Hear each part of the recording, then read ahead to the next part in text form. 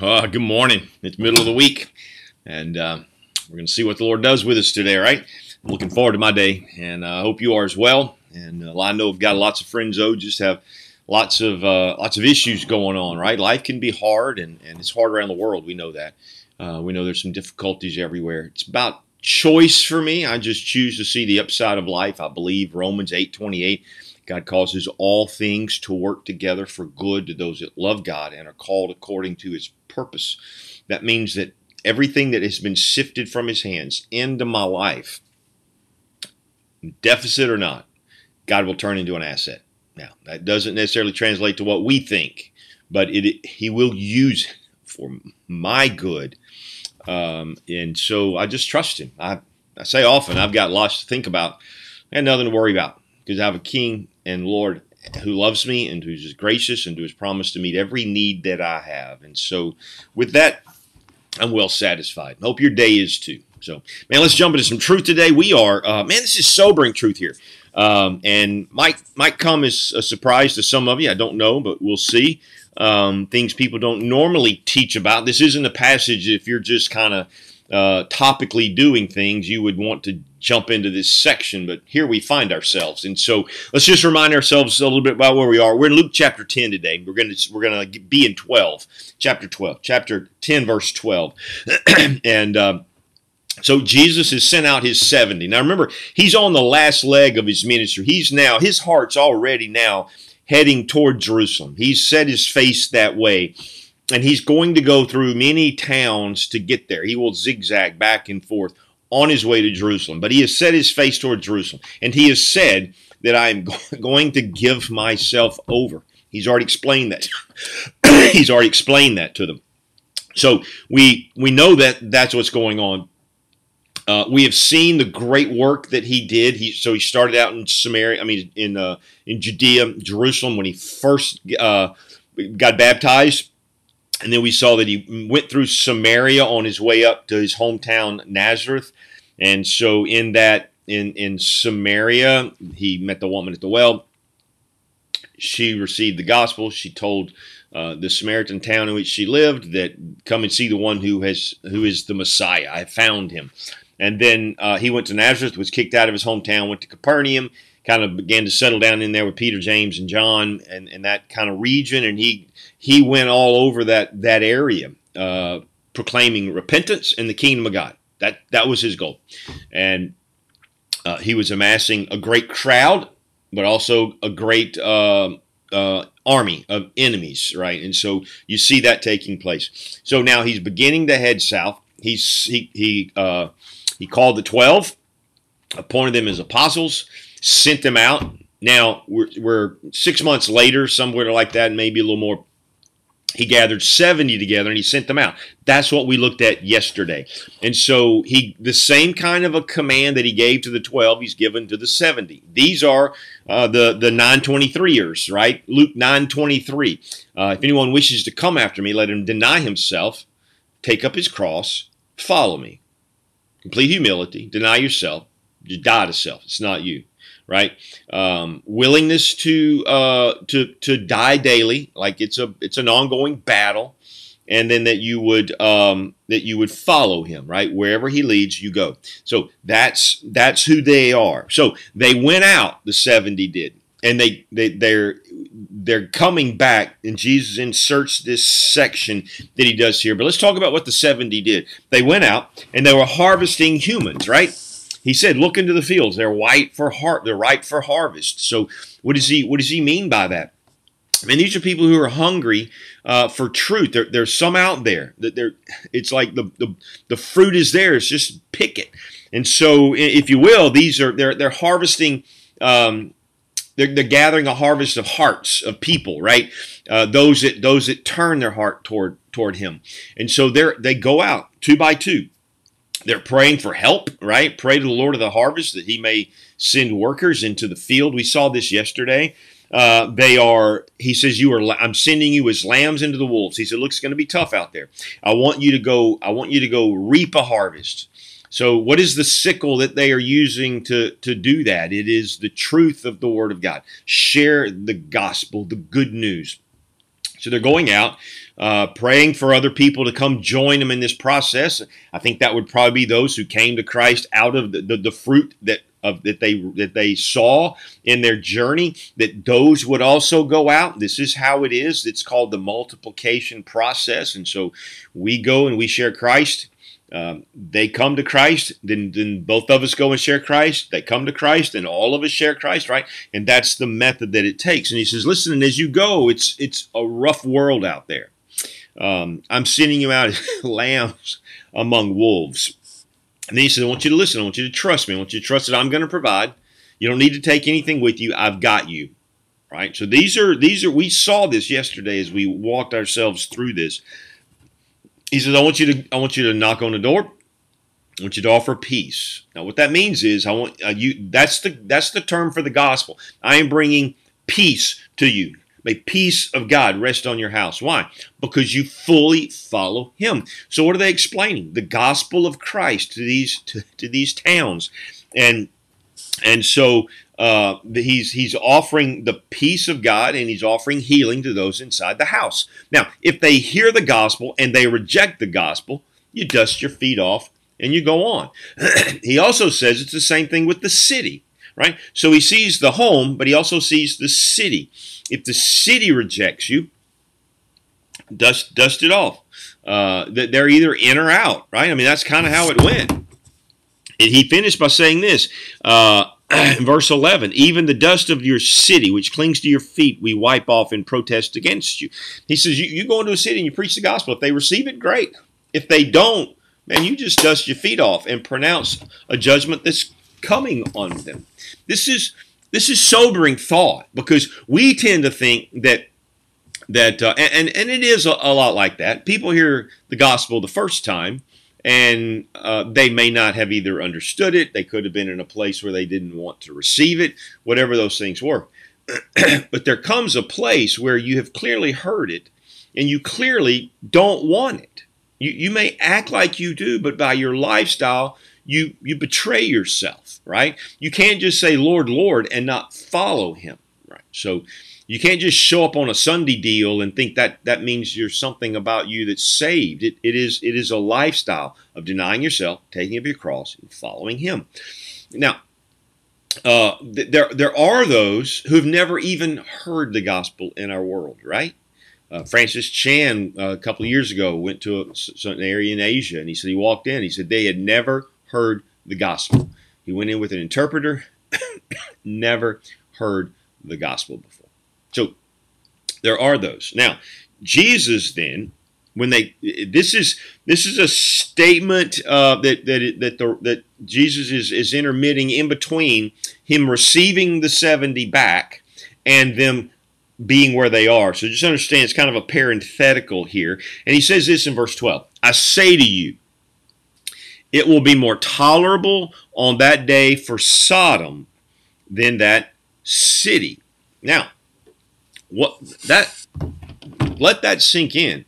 It will be more tolerable on that day for Sodom, you know Sodom and Gomorrah, right? Than that city. Which city? That city is the one that he's referring to up front. That if they if they reject you, you go out in the streets, you dust your feet off, and you tell them that uh, that that um, that the kingdom of how of God has come near and that you have rejected it, right? Now, when he says that day, what what day is that? Well, if we um, if we go down just a little further, we read where he says um, in this same thing uh, on the day of judgment, verse 14. But it will be more tolerable for Tyre and Sidon, another two wicked cities, in the judgment than for you. So we know what that, um, we know what he says when he says it'll be more tolerable on that day for Sodom than that city. We know that city is the one that rejects him. The people that reject Christ will have a worse time on the day of judgment than Sodom will. wow. Just hear that. Sodom was obliterated. The city is no more, right? Uh, even those who turned to look back, Lot's wife. You remember the story, right? God sent servants, his angels, in there to see if it was as wicked as every as it as it appeared. And as they go in, the homosexual and sexual perversion was so great that they wanted to have sex with these angels, these fresh meat, if you will, that had come into town. And and uh, so that's after they did that, it was proven to be as wicked as they thought it was a city of perversion and sexual morality. And so God's God uh, having had a conversation with Abraham about he would spare the city if they if they found you know so many righteous people in it, and they didn't. So he said, "Tell your Lot to leave," and so Lot left. Don't even look back. Judgment's coming, and and a hailstorm began to hit. And Lot's wife looked back, and she was turned into that pillar of salt. Right? You remember that story? This is what's going on there now. Uh, before we so so here's what he's saying. Listen, that wicked city won't have it as bad on Judgment Day as you cities. Because why? Because you heard the gospel, you saw the signs of healings and miracles and and demonic deliverance, and still you rejected. Had they seen the signs that you saw, they would have repented. Now, there's several things in here that we want to talk about. One is Jesus is compassionate. He's the he's the suffering savior He's the Redeemer. That's how he came the first time, right? I did not come to judge the world. I came to save the world. This coming, this one right here, where we see ourselves in the scriptures, he's not judging anyone. That's why he, that that's why he said he asked the woman who's caught in adultery, "Does no one condemn you?" She goes, "No, sir." And he says, "Then neither do I." Right? He he he, he didn't condemn her. He simply said, "Go and sin no more." Right? So there wasn't this there wasn't this judgment, brimstone and fire when he came the first time. But when he comes again as king, as Lord of Lords, it's going to be a war. He's coming with his heavenly host. He's coming with, with you and me who are believers in Christ. And, and, and, and we will, there will be a battle and there will be a day of judgment and there will be a separating of the sheep from the goats. And, and there will be those who will be cast into the lake of fire. This is all true. You, you can have a thousand millions of these progressive Christians try to tell you it's not true, and they do it denying the very things that they see in the scriptures and twist them to pervert them. They, they try the same thing with Sodom. They try to say that Sodom's sin wasn't homosexuality, that Sodom's sin was um, was uh, lack of hospitality. Let me just take a minute and kind of walk you through that. Uh, so we know that in Genesis 18, it, it was all about um, it was about their their judgment and their and the wickedness, right? Um, he said so. The Lord said in Genesis 18, the outcry of Sodom and Gomorrah is indeed great, and their sin is exceedingly grave. And we know what it was. Jude 7 says, just as Sodom and Gomorrah and the cities around them, since they in the same way as these angels indulged in what? Sexual perversion and went after strange flesh, that is, men with men, women with women, are exhibited as an example in undergoing the punishment of eternal fire. Now, there are, there are those who say, no, no, no, no, that wasn't their sin. And they would quote Ezekiel chapter 16. Behold, this was the guilt of your sister Sodom, Ezekiel says. She and her daughters had arrogance, plenty of food, and carefree ease, but did not help the poor and the needy. They go, it's a lack of hospitality and caring for the poor. That was their sin. Except verse 50 says, So they were haughty and committed abominations before me. It's a sexual sin. And this is this is the deal. Now, I realize that the church is coddling sexual sins today, and I'm just telling you, Jesus doesn't. And the church is not speaking for Jesus when they begin to say these things that sexual perversion is not sexual perversion, it's just love. They're doing, they're, they're destroying the gospel, and they too will incur a, a judgment. But I digress. So he demands, this is what he demands. He come right now, he's just demanding faith that you believe, that you're that you that you seek to do the righteous things. That's what the Sermon on the Mount about what kingdom living looks like, right? And that you come to Him in humility. That is repentance, right? So it is repentance. It is a, it is a change in lifestyle to turn to do those things which please the Lord. And, and it's about faith, trusting in God that He will redeem you. So He's patient, but He's wrath filled. Now, Hebrews uh, chapter 10 speaks of this. He says, You hear the truth, you reject the truth, you continue sinning, there no longer remains a sacrifice. I realize I'm kind of jumping around today. I just want you to hear these truths because this this needs to be said. Hebrews chapter 10. For if we go on sinning willfully after receiving the knowledge of the truth, just as these cities that the 70 went to, there no longer remains a sacrifice for sins. They came in, they offered a, a, redemption. They offered peace of God. They explained that they needed to turn from their sins, like John the Baptist had cried out, and that they should follow God. But if you want, receive it. A terrifying judgment of fury, of fire, which will consume the adversaries.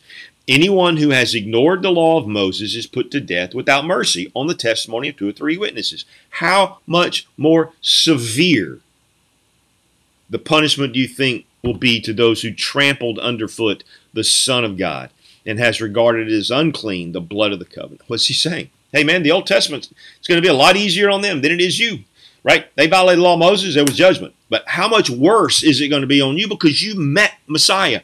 You, you saw the miracles and you rejected. The same is true for us today. We have eyewitnesses of Jesus. We are rejecting Jesus if we don't repent of our sins and embrace the kingdom of God and deny ourselves and take up our cross and follow Him. If we don't hide ourselves underneath the blood, uh, we are doomed. And so this is this is the message. Now, let's get back to it and just read the text and kind of see how it unfolds. Uh, so it says, I say to you, it will be more tolerable on that day for Sodom than for that city. Pick a city. He says Chorazin, Bethsaida, Capernaum. Those are the three towns that apparently they went to, plus others. And he says, Woe to you, Chorazin. Woe to you, Bethsaida. Woe, woe to you, Capernaum. Why? because you heard the word. I lived among you in Capernaum.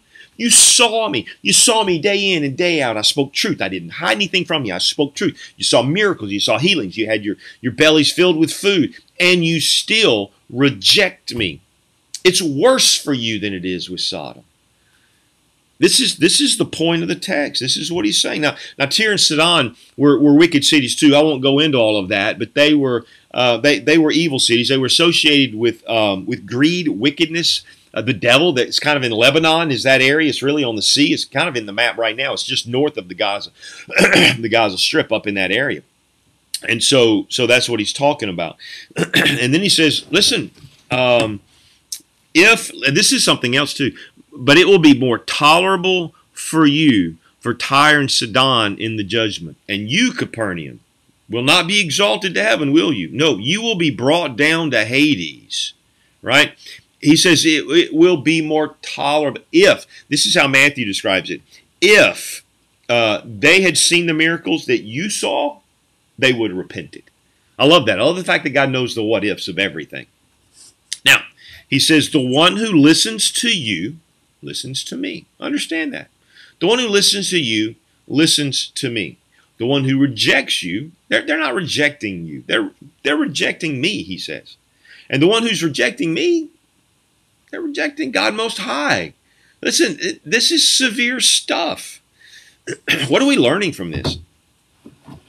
The gospel has consequences. You hear the gospel and it's plain to you and you reject it, expect severe judgment. The other thing we learn is, however hell is and whatever we know about it, it there's something there, there's there's movement in there of degrees. It will go worse for some than others. I don't know what that looks like. I do know that if you hear the gospel and you reject it, you die in your sins, it will be worse for you than all of the wickedness that Israel had ever encountered. That's the sobering message today. If you hear and you've heard the gospel and you haven't repented, I'm asking you to do so today. Lord bless you. Have a good one, and I'll see you in the morning.